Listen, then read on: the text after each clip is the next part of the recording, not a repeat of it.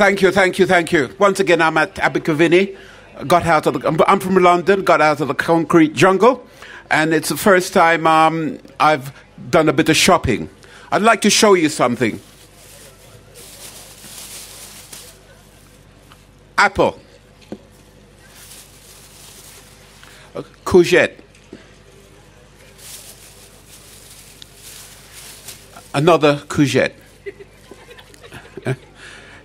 It's the first time where I've actually done a bit of shopping and bought something different. I didn't know that vegetables like this existed in the countryside.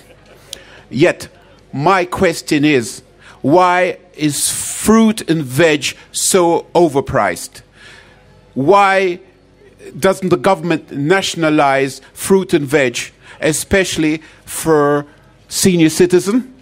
Most senior citizens they, in London they can't afford to buy fruit and vegetables every day. We're, the country is facing a big crisis where people are overweight. We haven't got a well balanced diet anymore. And yet, it's so sickening to see the amount of food that's being wasted in the supermarkets.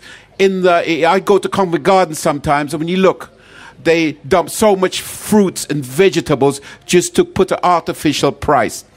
I'd like to see a future government nationalize uh, um, fruits and vegetables so the British public can have a well balanced diet both in our schools, but for senior citizens, uh, uh, uh, uh instead of um, the farmers, the small farmers who have to.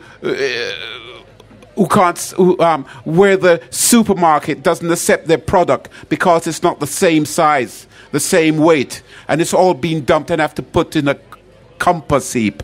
I'd like to see where fruit and vegetables nationalized through, through the government to have a fixed price so senior citizens and young kids can get free access for the surplus of food. Thank you for listening to me.